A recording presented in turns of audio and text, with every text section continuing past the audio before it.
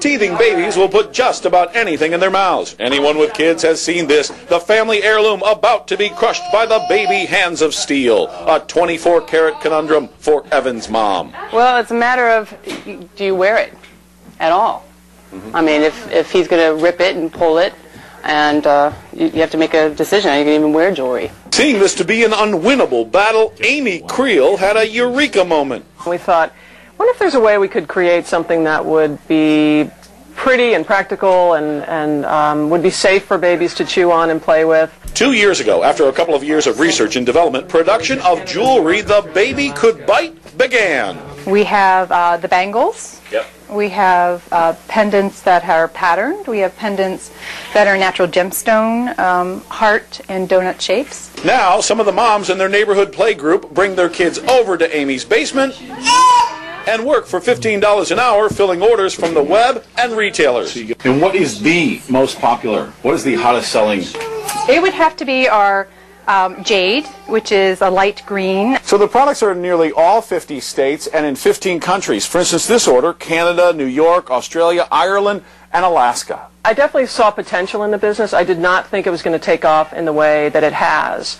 And to be adding retailers every day and getting calls from People Magazine and, and uh, Working Mother and Women's Day and, and finding out that we've really hit on something here. And Evan's mom,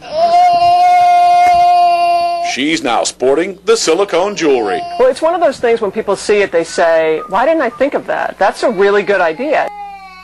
Exactly. It is a really good idea. And we, uh, they gave us a sample, so I brought it to the station for one of uh, our new moms there, and immediately, oh, that's a great idea. And I remember Yeah. when my wife, when we had our child when she was younger, you're like, oh, of course. Now, those things, they also have bangles that go around the wrist. I think those are on $15. The pendants are about 20 bucks, and people say, well, where can I get them? You can get them here at the Corduroy Button down on Thames Street. And Google um, teething bling or smart mom and that will uh, get you to their website where you can actually do a direct order. And they have 150 merchants around the world and as you heard them say they're signing up new ones every single day. So things are going well. Yeah. they said they're not yet making a lot of money but you know they're gonna.